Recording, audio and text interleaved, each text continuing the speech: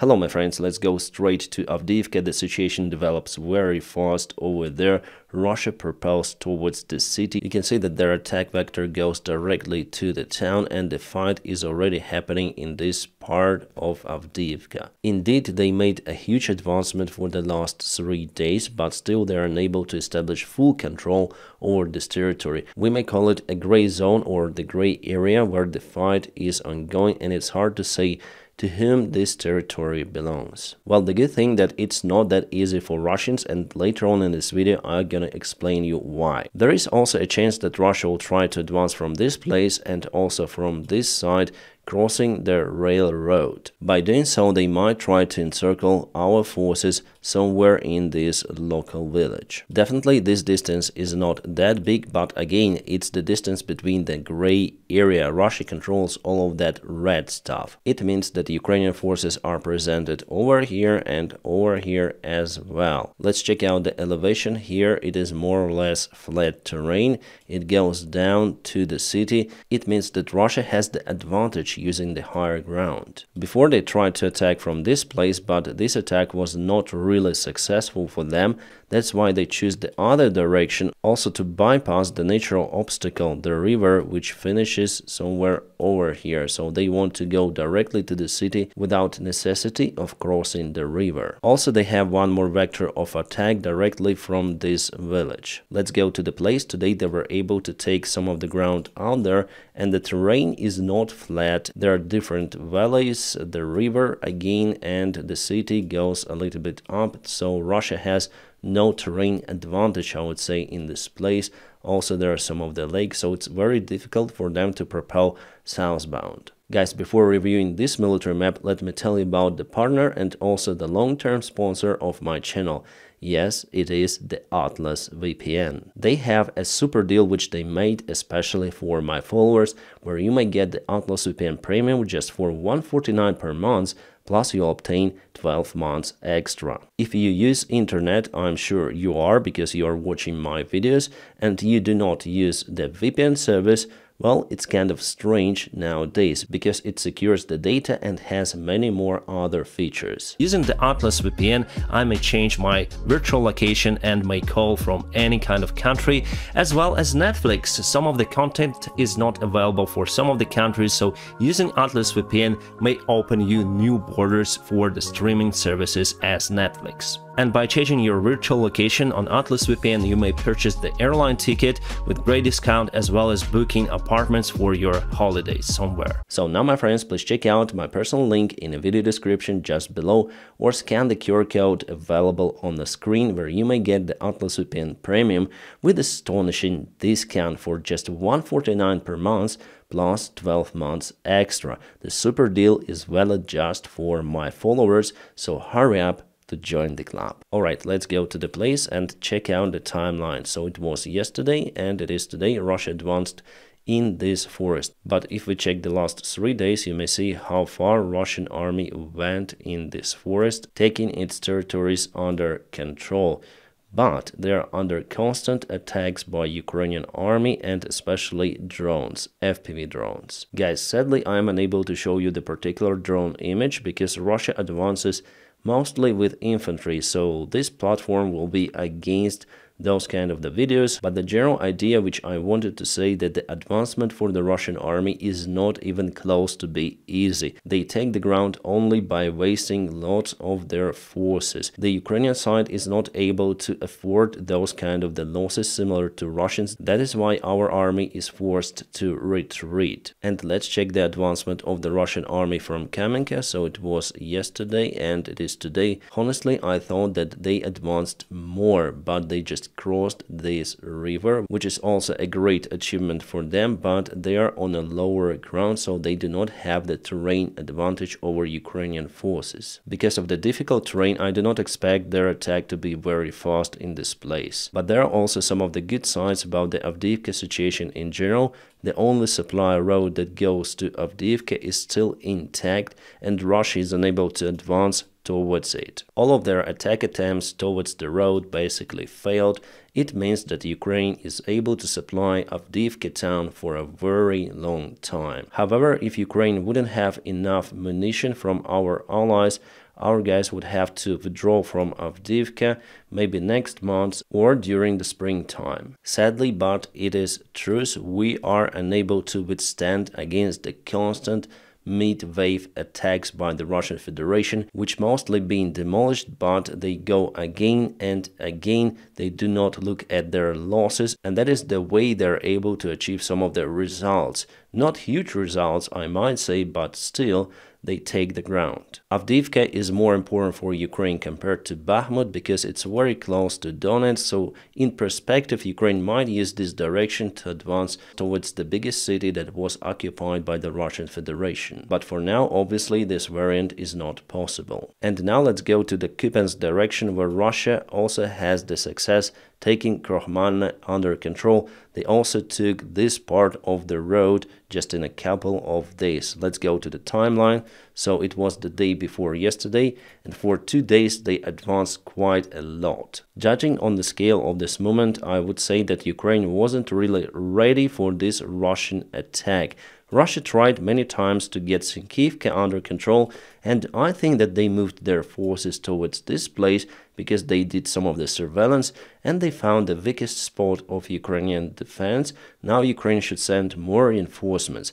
By the way, Russia already advanced somewhere in this place, as I remember near to Novoselivska, but later on Russia was pushed back and Ukraine regained the control over the lost ground. And those are the Russian soldiers in Krokhmalny village. Definitely they took the village under their control, there are no any doubts about it. Also you may see how the Russian equipment evolved. They have proper helmets, boots and bulletproof vests. We may see a huge upgrade of the Russian equipment for the ordinary soldier since 2022. It means that they are learning on their own mistakes that they've done before. It is not good, obviously, for us, but we also need to improve each time. Some of the Russian sources say that Russian army already went into the central part of Avdiivka town. They even show this video, how the Russian soldiers are going somewhere, and next they put this video. Definitely it is Avdiivka, but this particular video was filmed by Ukrainian soldiers not the Russians. So again, TikTok army wants to show some advancement, mostly in internet, and I understand why they are doing it, to spread the disinformation that will be shared, for example, on X, Twitter or a Facebook, whatever. One more cringe video from the TikTok Akhmat battalion. As you can see, they have many of the flags, the Russian, the Akhmat flag, and there was also the USSR flag. So it's complete nonsense to put all of that stuff together, but it seems like they're okay with it. So what they say that they're sending new forces to fight in Ukraine. So this is the USSR flag, very, very Chechen original, I would say.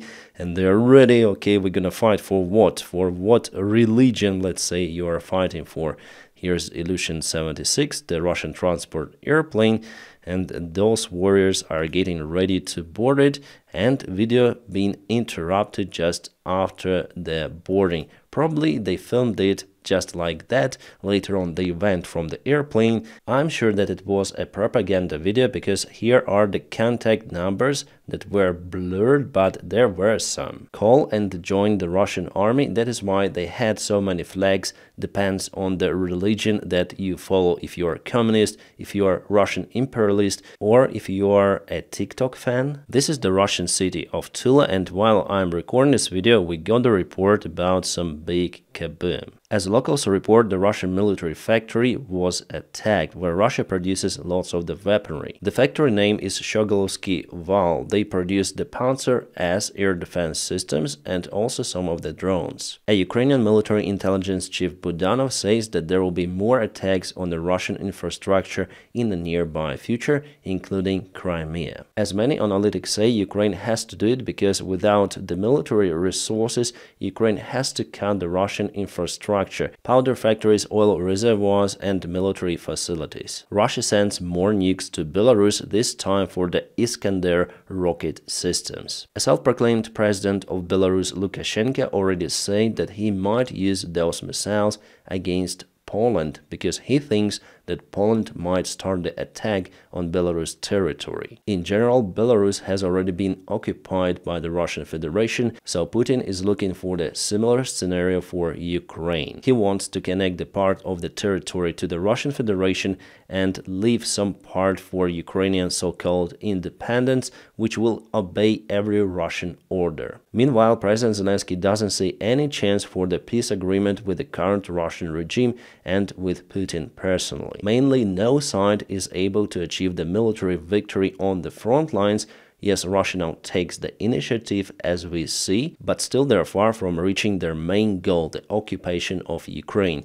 Now it looks impossible for Russia, as well as for Ukraine to liberate all of its territories, it means that the war will continue for several years for sure. A cringe of the day, I had to put some of that censorship on Verns because the YouTube policy is quite strict. So this woman survived the Russian attack on the Mariupol mature house back in 2022. She was pregnant at that time and later on gave the birth to her son as I remember, but later on she went to the self-proclaimed Republic of DPR and later on to the Russian Federation and she became a pro-Russian media activist. Yes, she was nearly killed by Russians. The Ukrainian side helped her with her treatment, but later on she took the Russian passport and started to praise Putin. Today she put her signature under the document for the future Putin's elections. It is like a formality for the Russian candidate to run for elections to have the signatures from the people. She betrayed her country, her people, and became a propaganda symbol for the Russian Federation.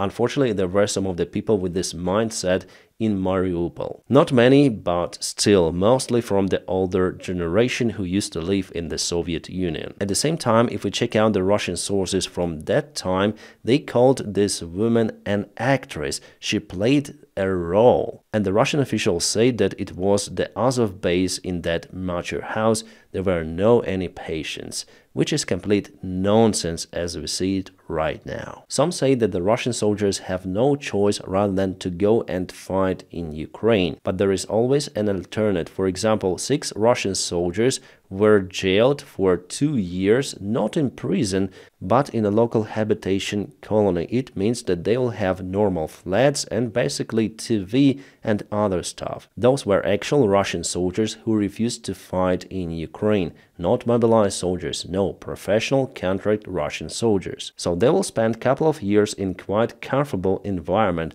they will be even allowed to meet with their relatives each weekend. And the most important thing that they will stay alive and will not kill anyone else. I guess that it is a best solution for the Russian soldier. Estonia, Latvia and Lithuania are going to build the defense line all across their borders with Belarus and with Russia. I believe that Putin has ambitions to occupy the ex-Soviet countries. So building a defense is the proper thing to do, because Ukraine wasn't really ready for the full-scale war with Russia. The defense lines were not built on the north and on the south that allowed Russia to occupy lots of the territories. The White House officials warned the members of Congress about a very bad circumstances for Ukraine and for democracy in general if the military aid for Ukraine wouldn't be voted very soon. I think that the information is coming from the Jake Sullivan. He says that Ukraine will be defeated in that case very fast in a few months. Well, I disagree with that conclusion. Even without the military help from the United States, we still have the partners in the European Union and the other countries, for example, Canada, UK and Australia. However, if Ukraine will be out of the military help from the United States, obviously it will lose more ground, but will not lose in general. The best investment in stability of the world and in democracy is the investment into Ukrainian military. My friends, don't forget to press your big like to this video. By doing so, you help me a lot. And also, please don't forget to check my personal link in the video description just below, where you may find the Atlas VPN with a huge discount that was made especially for my followers.